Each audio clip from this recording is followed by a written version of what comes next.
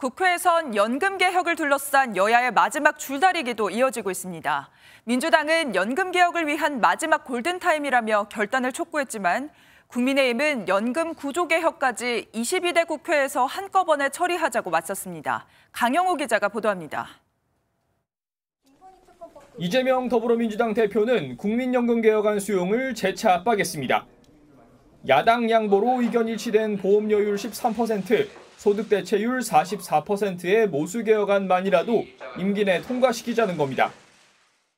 17년 만에 찾아온 국민연금 개혁의 골든타임 놓치지 않도록 대통령과 여당의 책임 있는 결단을 거듭 촉구합니다. 국회 연금개혁특별위원회 야당 간사인 김성주 의원도 선 모수개혁, 후 구조개혁을 눈물로 호소했습니다. 마지막으로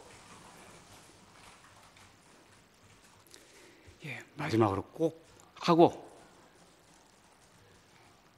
하고 마치고 싶습니다. 국민의힘은 기존 입장을 고수했습니다.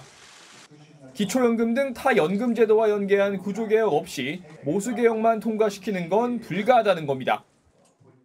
세대 간의 갈등과 여러 가지 우려되는 것이 있기 때문에 조금 시간이 걸리더라도 어, 두 개혁을 어, 한 뭉터리로 어, 해야 한다라는 것이 저희 입장이고 안철수 의원이나 유승민 전 의원과 같은 당권주자들도 지도부 목소리에 힘을 싣는 상황에서 김진표 국회의장 주재로 양당 원내대표가 만났지만 아무런 소득도 없었습니다.